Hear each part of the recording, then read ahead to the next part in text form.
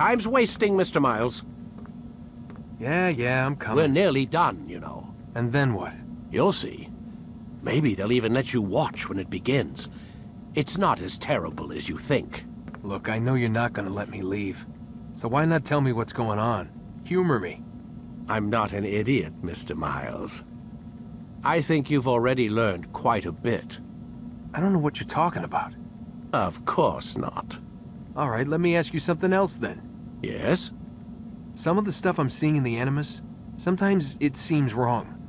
Untrue, like the history is off somehow. It doesn't... It doesn't what, Mr. Miles? Match up with what you read on an online encyclopedia?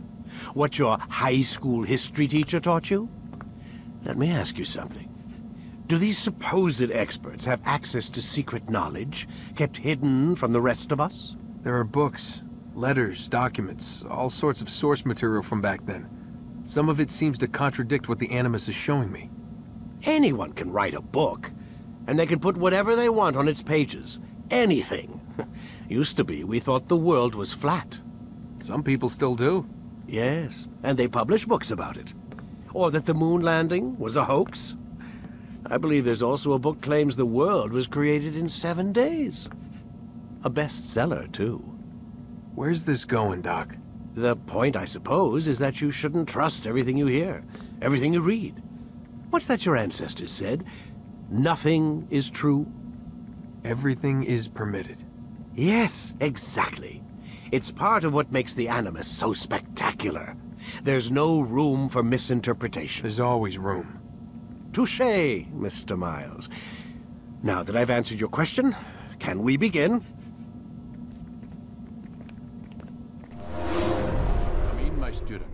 We have much to discuss. We are close, Altair. Robert de Sable is now all that stands between us and victory. It is his mouth gives the orders. His hand pays the gold. With him dies the knowledge of the Templar treasure and any threat it might pose. I still don't understand how a simple bit of treasure could cause so much chaos. The Piece of Eden is temptation given form. Merely look at what it's done to Robert. Once he tasted of its power, the thing consumed him. He saw not a dangerous weapon to be destroyed, but a tool. One that would help him realize his life's ambition. He dreamed of power then. Yes and no. He dreamed, still dreams, like us, of peace. But this is a man who sought to see the Holy Land consumed by war. No, Altair. How can you not see when you're the one that opened my eyes to this? What do you mean? What do he and his followers want? A world in which all men are united. I do not despise his goal. I share it. But I take issue with the means. Peace is something to be learned, to be understood, to be embraced. He would force it.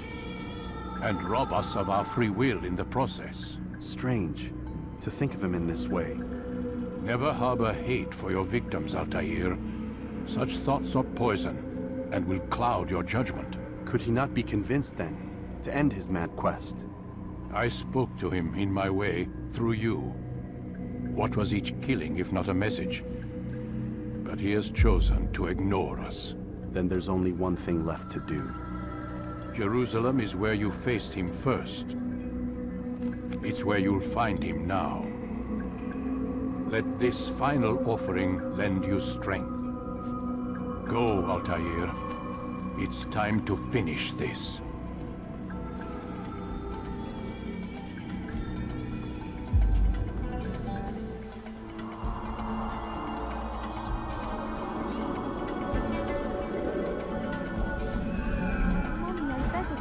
Must be strong, we must be brave, and we must find the courage to face those we once called our enemies and now instead call them friends. The Crusaders come to Jerusalem, bringing with them an opportunity to end the fighting, to stop the war. That we may stand as one, we must not turn them away.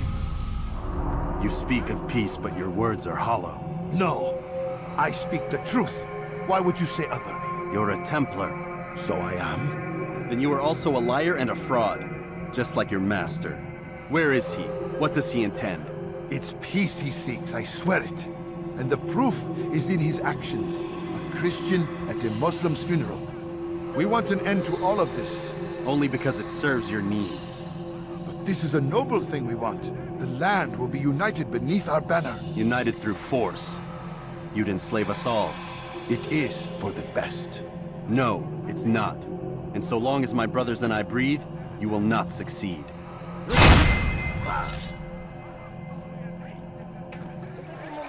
Did you see them? No, but I've heard the whispers. Is it true? Crusader knights in Jerusalem? It is. And? Different from the others. Finely dressed and bearing expensive gifts. We should relieve them of this burden. They've made camp near David's citadel, close to the cemetery. To attend the funeral? So it seems. Then let us visit their camp while they pay their respects. Take the map I've given you and see that the guards are placed accordingly. We'll be safe enough during the procession. It's the burial that worries me. Easy for our enemies to hide amongst the crowd. If you're so concerned, why not post your own men? Search the site yourselves. Our presence here has caused enough chaos. I can only imagine how the people would react, seeing Crusader soldiers marching across their holy ground. Then perhaps you should not attend at all. He was our friend and brother, and we will honor him as he passes from this world. You insult me by suggesting otherwise. I'll post the men. I don't want trouble either. Then stop trying to make it and do as you've been asked.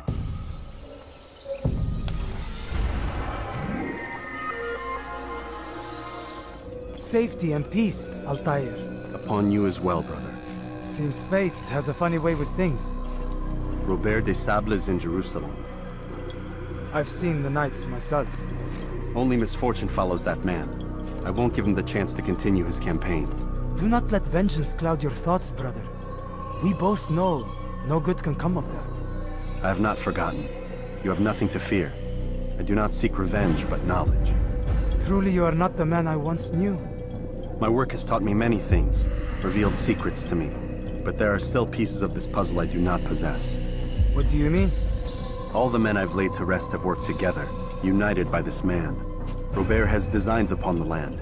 This much I know for certain. But how and why, when and where, these things remain out of reach. Crusaders and Saracens working together? They are none of these things, but something else. Templars. The Templars are a part of the Crusader army. Or so they'd like King Richard to believe. No, their only allegiance is to Robert de Sable and some mad idea that they will stop the war. You spin a strange tale. You have no idea, Malik. Then tell me. Robert and his Templars walk the city. They've come to pay their respects to Majd-ud-Din. They'll attend his funeral, which means so will I. What is this that Templars would attend his funeral? I have yet to divine their true intentions, though I'll have a confession in time. The citizens themselves are divided. Many call for their lives. Still others insist that they are here to parley, to make peace. Peace? I told you. The others I've slain have said as much to me. That would make them our allies. And yet we killed them. Make no mistake, we are nothing like these men. Though their goal sounds noble, the means by which they'd achieve it are not. At least, that's what Al-Mualim told me. So what is your plan? I'll attend the funeral and confront Robert. The sooner the better.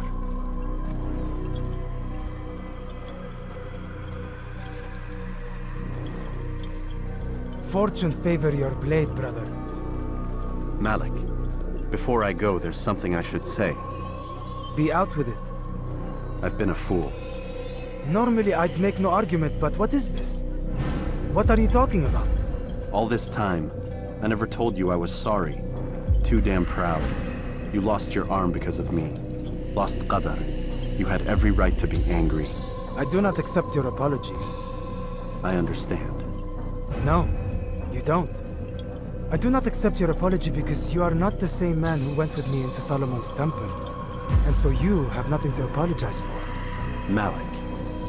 Perhaps if I had not been so envious of you, I would not have been so careless myself. I'm just as much to blame. Don't say such things. We are one. As we share the glory of our victories, so too should we share the pain of our defeat. In this way, we grow closer. We grow stronger. Thank you, brother. Rest if you need to, Altair, that you might be ready for what lies ahead.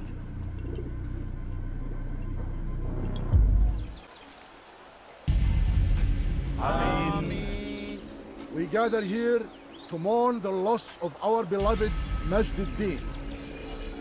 Taken too soon from this world. I know you feel sorrow and pain at his passing, but you should not. For just as we are all brought forth from the womb, so too must we all one day pass from this world. It is only natural, like the rising and the setting of the sun. Take this moment to reflect on his life and give thanks for all the good he did. Know that one day you will stand with him again in paradise.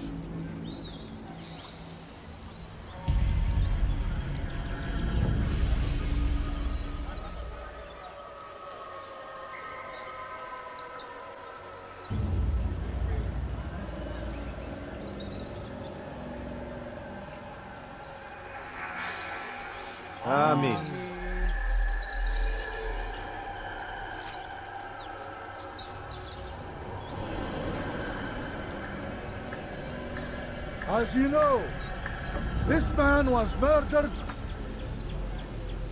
We have tried to track his killer, but it has proved difficult. These creatures cling to the shadows and run from any who would face them fairly. But not today, for it seems one stands among us. He mocks us with his presence and must be made to pay. Seize him! Bring him forward that God's justice might be done!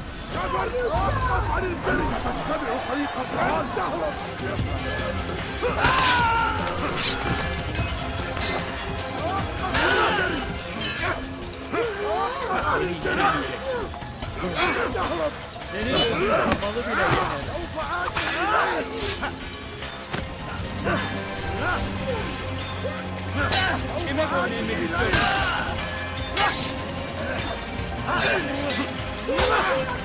God.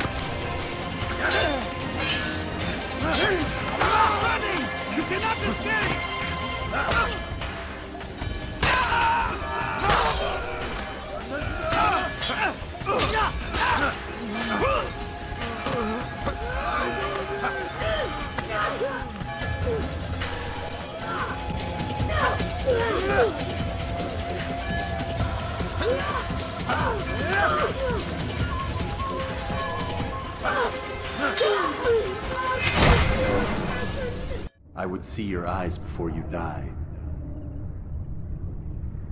I sense you expected someone else. What sorcery is this? No sorcery. We knew you'd come. Robert needed to be sure he'd have time to get away. So he flees. We cannot deny your success. You have laid waste to our plans. First the treasure, then our men. Control of the Holy Land slipped away. But then he saw an opportunity. To reclaim what has been stolen. To turn your victories to our advantage. Al-Mualim still holds your treasure, and we've routed your army before. Whatever Robert plans, he'll fail again. Ah, but it's not just Templars you'll contend with now. Speak sense. Robert rides for Arsuf to plead his case that Saracen and Crusader unite against the Assassins. That will never happen. They have no reason to. Had, perhaps. But now you've given them one. Nine, in fact. The bodies you've left behind, victims on both sides. You've made the Assassins an enemy in common and ensured the annihilation of your entire order. Well done. Not nine. Eight. What do you mean? You are not my target. I will not take your life. You're free to go, but do not follow me. I don't need to. You're already too late. We'll see.